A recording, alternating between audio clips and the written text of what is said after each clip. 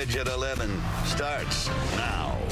Well, tonight on The Edge, there's something in the air, and Detroiters on Detroit's east side, well, they don't like it. Concerned with air quality from big trucks and factories, residents came together tonight looking for change.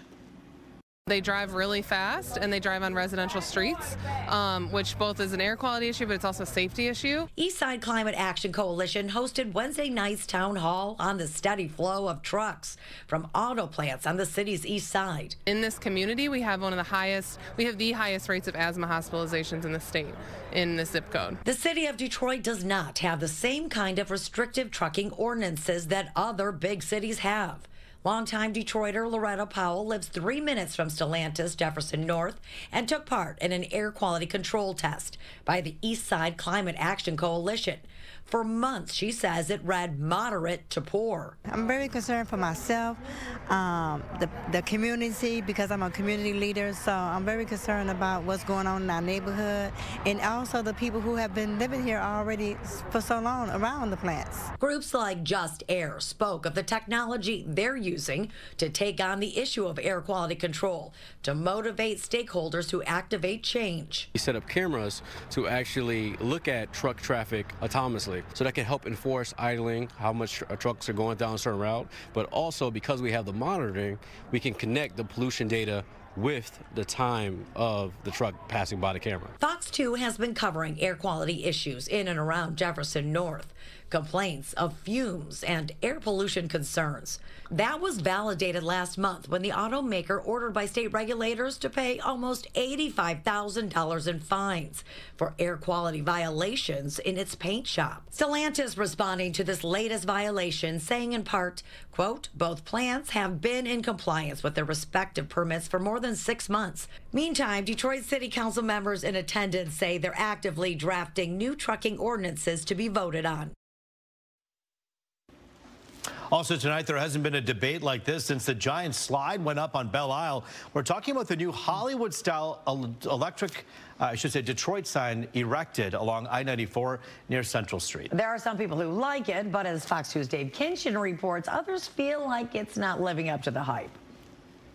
It's a sign that speaks loud and proud. You know what this is. This is Detroit, baby. I love the sign, and I love Detroit, and I love all everything about Detroit. It's a great move for Detroit. Uh, like I said, with everything coming in with the NFL draft. Detroiters and those across the region getting their first up-close look at the new Hollywood-style sign spelling out Detroit on I-94 after months of hype as we inch closer to the NFL draft, putting our gem of a city on the national stage.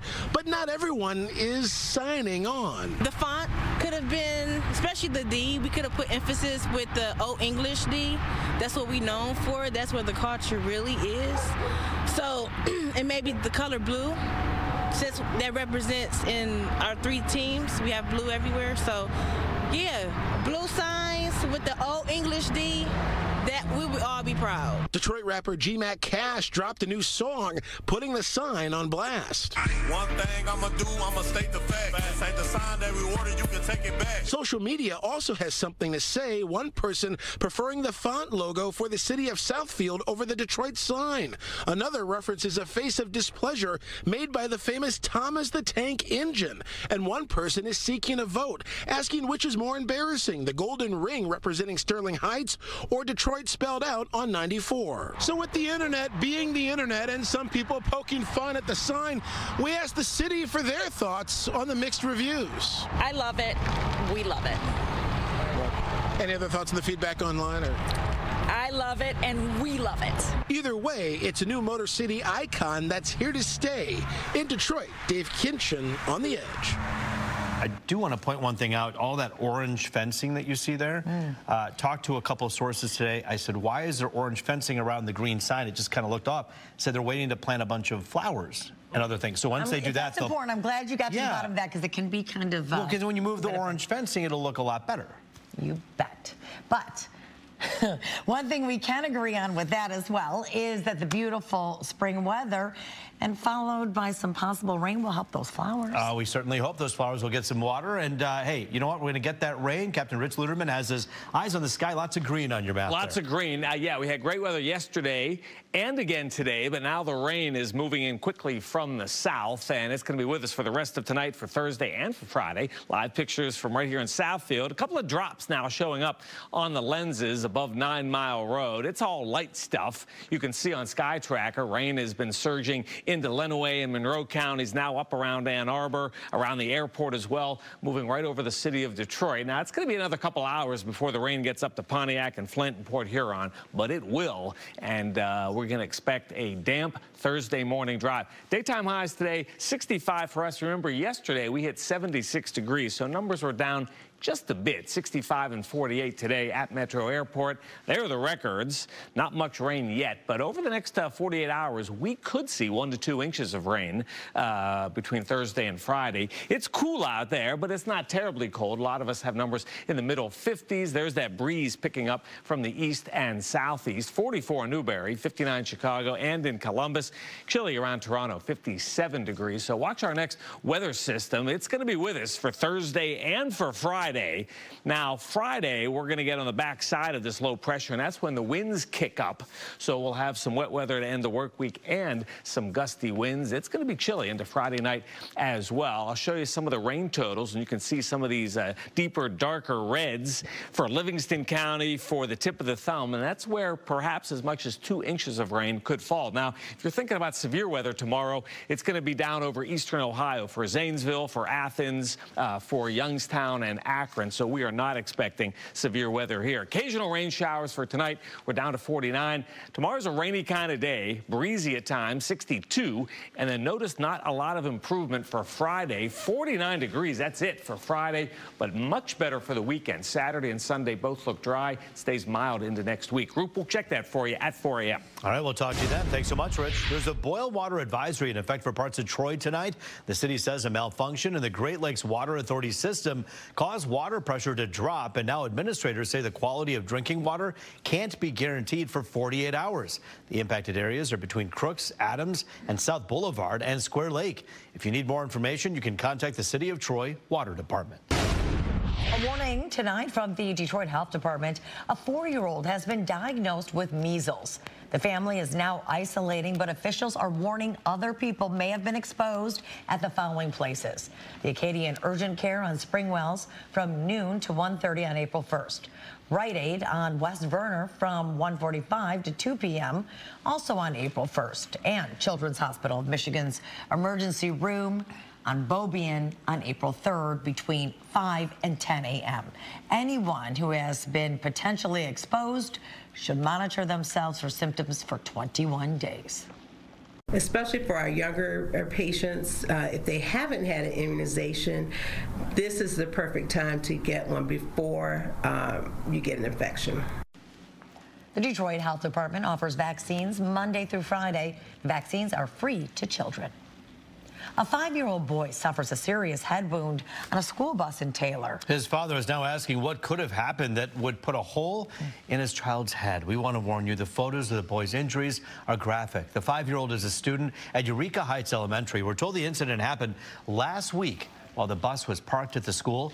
The child actually needed six staples to his head. The bus driver alerted the principal, and the principal called the parents, but it's still not clear how this all happened. When you ask him what happened this day, he says, I don't want to talk about it. With a serious tone, I don't want to talk about it. And when I walked into the school, he, he doesn't even have a, a, a piece of cotton or anything on it at all. It's an open wound, and blood was still pouring down. And they, they should have called 911 before they called me. District leaders have met with the family. They tell us they're open to having more meetings. In the meantime, the child's staples will be removed in the next few days.